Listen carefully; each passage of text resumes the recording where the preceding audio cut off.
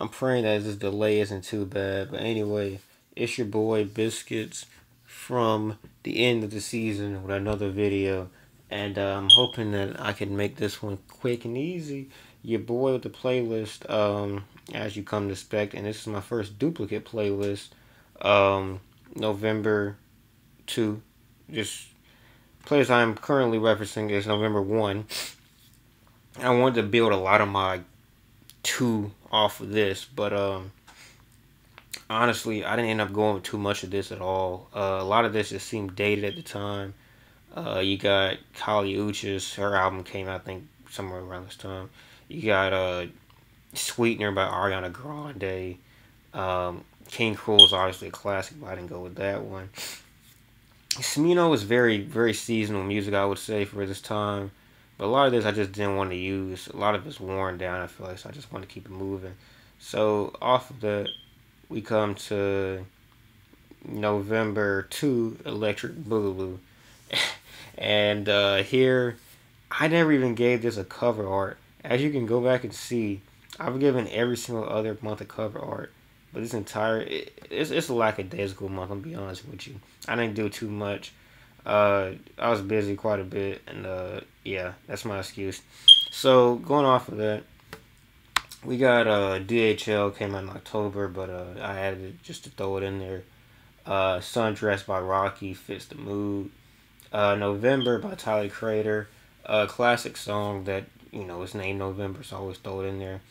Uh, shout out to the mixtape dudes always come through on these playlists or always come through on Spotify. Um, usually as either Tentacion or or Lil Peep. I'm uh, peeping off of these, but someone uploaded uh, most of the highlights off of Live Love ASAP.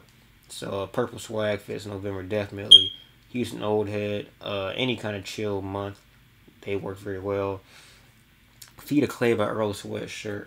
Uh, I didn't know what to expect out of this EP when I went into it, but it's kind of like if you took the most indulgent parts of uh, SRS and really just drilled them down and made them finer until like it was just nothing but the weird offhand samples, the spiritless bars, um, you know, but his, his raps aren't very bad on that album. And um, other than the East, I think the production's pretty well. Uh, M Tomb is great, and specifically um, the song Mavi, El Toro Combo Meal, um, spirited away like uh the fear what what what is it? Uh put my fears in the box like prayers that you won't read spirited away the whole thing. That's quite a bar. Uh Sheck Wes YKTS by the first Sheck Wes song of hers is Mo Bamba really good. I mean it's all right um Hitler what is this? Hitler wears um is it is it Prada what's the uh what's the part? Hitler wears Hermes Seven. Yeah, I listened to this one at my grandma's house, and uh, I tried to play all the way through. That wasn't a good idea. This is a very long listen, but um, the production on this, as I'm told, many Griselda products are is just incredible. Uh, some of the sample flips are some of the best I've heard this entire decade. Uh, Dua Lipa, uh, Lipa, Dua Lipa single, uh, pretty hot in charts right now. I thought it's pretty good. Uh, Operation Doomsday. Hard for me to find a song on here that I haven't like really played the hell out of, but King Geedorah, MF Doom can't go wrong with that, of course. I had no idea. I think this was in my Discover Weekly or something like that. Um, no, it was in my uh, Daily Minutes. Really old uh, Kendrick Lamar. Like you can, you can like see hear his verses and like follow the narrative he's presenting. Um, so you know it's old. If it's not just random ass bars, and it's, it's a different type of Kendrick. Um, in my room, Frank's second single that came out really good. Uh, I can't wait to hear that. Uh, what's it, Sango? Uh, the one that was remixed by the dancehall dude. Um, that I can't wait. Sango Cayenne remix or Cayenne Cayenne Sango remix, something like that. Um, Bank Bank Bank Bank Bank Bank Bank by DDG. Uh, SRS is just a perfect. I think came out in November, but it's a perfect winter album. I believe that. Uh, more DDG. D, Bank is such a repetitive bank, uh, bopper But like this dude legit was spitting on Valedictorian. That's a really good little album to listen to. Uh, Anna the North Dream Girl really, her her vocals are really good on there. Uh, that's why I threw that in there. My forte, these Silk Money. I like was thinking about um, it was a thread on KTT where they were talking about like how much of an asshole Silk Money was, and uh, I haven't listened to um DBSB Divine Council, uh, you know Divine Council individuals in a minute, so I decided to listen to Silk Money. I listened to his entire discography, and he's a couple songs that I like. Uh, Phantogram Island movies, as far as I can see. Uh, I think I went back and listened to um, the song Rocky Flipped uh, when I was small off like the hundred thousandth time, and uh, I just listened to something else on there, and it happened to be this song, and it's really good. Uh, Booth Boy Icy, always good for a couple of bangers. I smell pussy. Uh, so this is I always type in I Smell to listen to I Smell Crack by JPEG Mafia. And this song always popped up, so I finally listened to it. It's really good. Uh, Victor 2010, Anthrax is just a good project, period. So we got Beavers and Bush, Butthead by Cash Quan. Uh, I didn't know this was on Spotify. Like I, I've heard this on YouTube before, but like I was just looking at TJS his Spotify profile. and Then this was at the bottom. Like it was just just sitting there, so I just listened to it. It's definitely not as creative as Dynamic Duo, but it's it works. Uh, in a mirror by Clams Casino. Moon Tip Moon I'm fucking up right now. Moon Trip Radio is really good. Um, you know th- this post samples Eric Clams Casino. You get it how you live with some of his music. You either like it or you don't. But I do think he always comes to a certain level of consistency that you can't say he's not a good producer. I think personally, sample Clams Casino, like the things he was doing before really he started getting hawked down.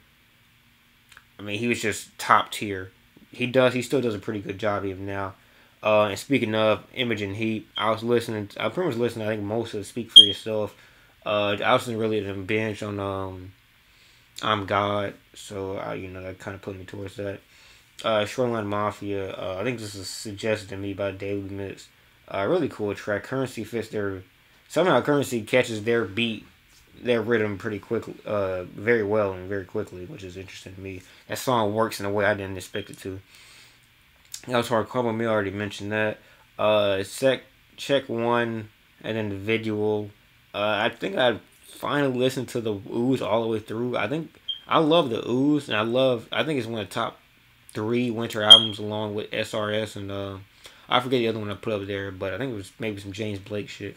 This is an amazing winter album, but I don't believe I ever like really just went through and listened to like the last stretch.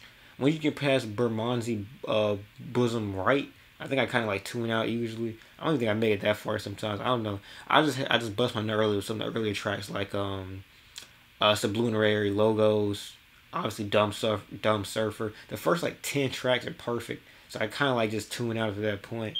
But it is great. Uh, Lightworks, Doom wraps over Lightworks. Um, Born like this is a really interesting tape because it's still like it's a newer Doom tape. It's from 09.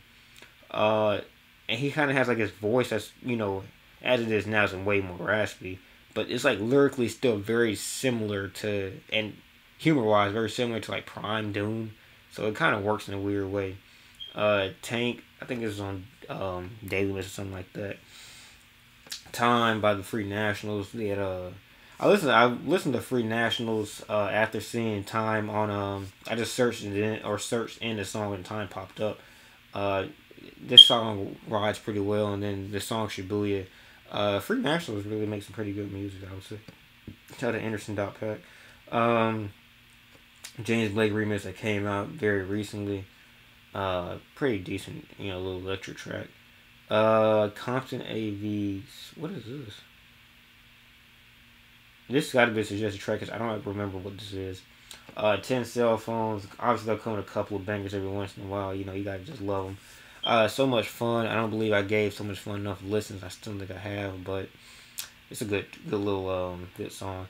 Uh, Lil Peep and Gabe. Um, listen, the three Lil Peep and Gabe songs off of Everybody's Everything are unbearable because of Gabe.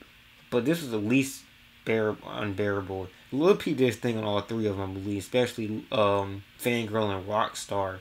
But golly, man, that Gabe was horrible. Um, couple with the Sun Talk tracks. I gotta go back and listen to the whole album all the way through. I don't believe I did, but it is one of my favorite songs. Um, that slumber sound is just timeless.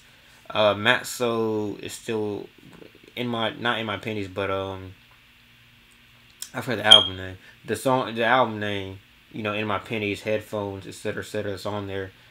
Uh, Little Big Man, Little Big Man is still one of my favorite albums. Um, Mike is good, of course. Um, I'm trying to think of who else is in that click right now. I associate Maxo uh, not Maxo Kream. Um, Mach-Hommy with them unnecessarily, but Mach-Hommy makes pretty decent sounding music. And I don't think he's a grandstanding artist that a lot of people put him up to be, but he's pretty good. Uh, and of course, I guess now Earl is basically a slums artist in in musical respect, definitely. So I mean, he makes good music, of course. Uh, Melly versus Melvin, uh, really decent tape. I mean, he can deal with his style and making music that uh, you know, that Jada Youngin, that uh, just kind of nasally crooning R and B, uh, NBA Young Boy sound. Eh, you know, I'm not the biggest fan of it as far as the whole album goes. Um, Days Before Three, Lucki came through with um another uh another sequel. I'm pretty much. I think he has like a sequel for every like everything he makes. I mean, Days Before, uh, Free Wave.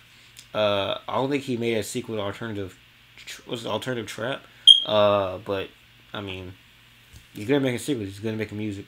Uh, House of Sugar. I finally listened to that. I had the tab pulled up on my Safari for like what five months. Uh, I finally listened to it. It's pretty good. Uh, believe it or not, I didn't come across this Watermelon Sugar song by typing in sugar into Google. I don't know how I came up uh, or into Spotify. I don't know how I came about listening to this song, but it wasn't that way. Uh, and I've been listening to Big Bad very recently. Um, that song uh, "Spun It," uh, and the other song where he referenced he's Christian Dior. No, walk to the store, Christian Dior. Christian Dior. Giggs' sound is so likable. I don't know how anybody can say I don't like Giggs. The dude just makes likable, fun music. Uh, and that's why I mess a lot of his bars. I think he's like, he's basically what people say UK rappers are like, but he's a little bit more clever than than those stereotypes. Anyway, um, this video is going on way too long. Hope you enjoyed this. Uh, and I'm trying to make December a lot better. And I was supposed to cover on it. Peace.